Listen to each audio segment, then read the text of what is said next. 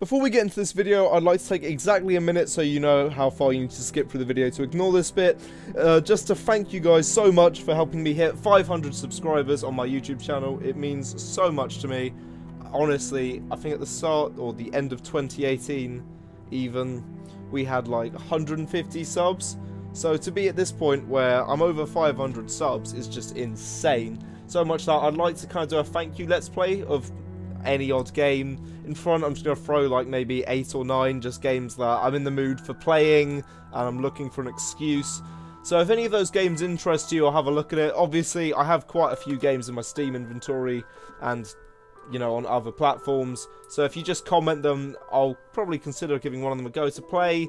If no one bothers to comment, I'll probably just can out and go with something in Oblivion or Skyrim. But yeah, thank you so much, and let's get into the actual video you're here to see. Hey guys, Dom here, and today I thought for this custom card video, I'd do something which you might not have expected. It was what was meant to be an expansion for. See, I went out and thought, you know what, I'll ask, see if I can find out what this expansion was meant to be, and apparently it didn't actually get that far into development, but they plan to look further into Oblivion, so I thought, you know, I'll make some cards which kind of also theme with Oblivion and Daedric cults.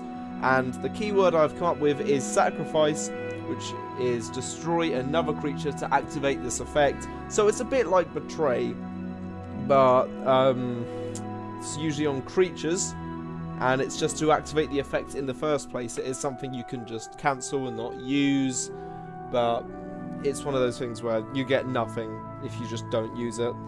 So it's kind of really heavily reinforced that you probably should. And with the cards that they're on, they are very heavily made for that effect in their little mini archetype. But let's show you the cards. Okay, so the first thing I thought I'd do was make some endurance cards for Daedra so you could play Invade with endurance properly as I don't feel like there's enough Daedric cards in endurance and I just said Daedric endurance way too many times, I apologise. So, to continue that trend, we're going to start with the 4-cost Dremora Bornkine. I really need to stop taking uh, words off unofficial Elder Scrolls pages. And that is a 2-5 Prophecy Guard, which has the ability your opponent can't target Oblivion Gates with actions. So this is basically your Defender of the Gates, but in a kind of different way to kind of make you think, yeah, I want Endurance in my Invade deck.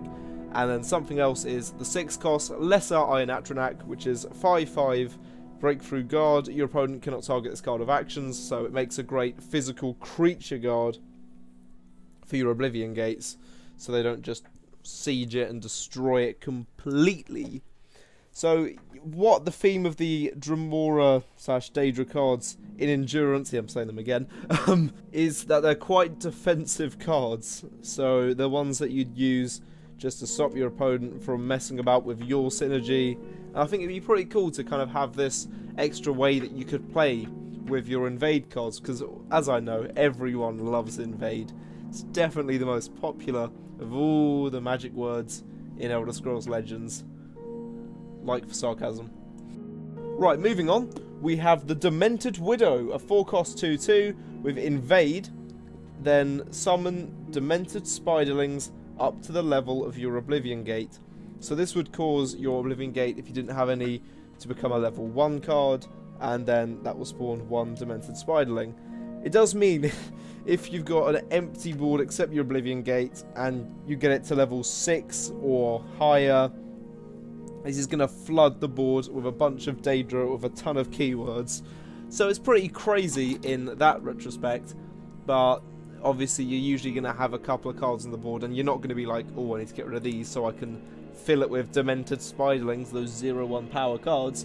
But it's just so this actual endurance side of Daedra have some form of swarm. Okay, as this will be a full expansion, I don't want to just sit on endurance for Daedra cards, so I'm also going to show off a Guildsworn one, which is Caitiff Swordmaster, and this is because I feel like these three attributes are the most common ones with any sort of invade deck, and something like this would be quite useful for it.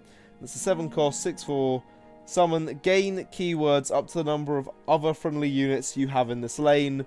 So this would kind of go with the Dremora card in intelligence, which invades every time that, you know, a card of yours gains a keyword, and then there's the one that gets like all the keywords of monsters you have. It's just really cool synergy which goes together.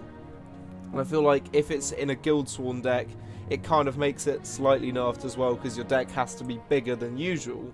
So overall, I think this is quite powerful and might need like maybe a strength nerf, but other than that, it's just a cool card. Once again, we're now moving on to the kind of cultist cards, which are kind of like a neutral sort of archetype almost that I've made uh, just to kind of go alongside Daedra, and this is what all the sacrifice cards come into. And the first one is Molag Cultist, a 2-cost 3-1 with the ability Sacrifice. The chosen creature attacks all opposing cards in this lane. This is basically just a way of really kind of showing more of an aggressive stance at your opponent. And if you've got like a really kind of piss poor unit that you just want to get rid of but could destroy all your opponent's guards, you throw this at it. Or if that card's got lethal, well, you can pretty much just get a clean shot at your opponent using this. Reason why I made it only guards is just so if you have a lethal unit on your side, it's not too broken. And because it's this restricted, it might be that card that you have in your deck but not always use, like ones like, say, Dismantle, for instance. Right, now we have the Daedric Assassin, a 4-cost 1-6, which has lethal, sacrifice, battle an enemy creature if the creatures if this creature survives, not the opponent cre opposing creature, this is lethal, that would be incredibly rare to happen, invade. This is so you can kind of see the kind of tagging alongside with Daedra cards in full action here and it's also a nice way of just you lose a card but your opponent will 9 times out of 10 unless they've got a ward or a card immune to lethal also lose a monster and as a bonus if you keep this quite chunky health unit you get to invade so all your units will get slightly stronger and give your opponent something else to focus on obviously as it has got a large health pool if it goes up against something weak it does become quite the issue for your opponent as well Okay, so next we have the Daedric Acolyte, which has Sacrifice. Draw a Daedra with equal or less power than the Sacrifice creature. This is so, say you've got maybe a free power unit, or free attack, whatever you want to call it. Um, you can get rid of it and then draw maybe a Daedra, which will help you a lot more in that situation. Say that card's outlived its purpose, you've now got something else in its place.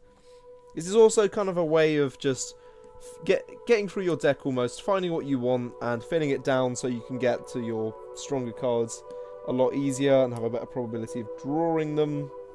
It's kind of weird, strange card. I was going to make it cost, but then I thought you're never really going to use it on anything like maybe over 5 power, just because those units are quite valued.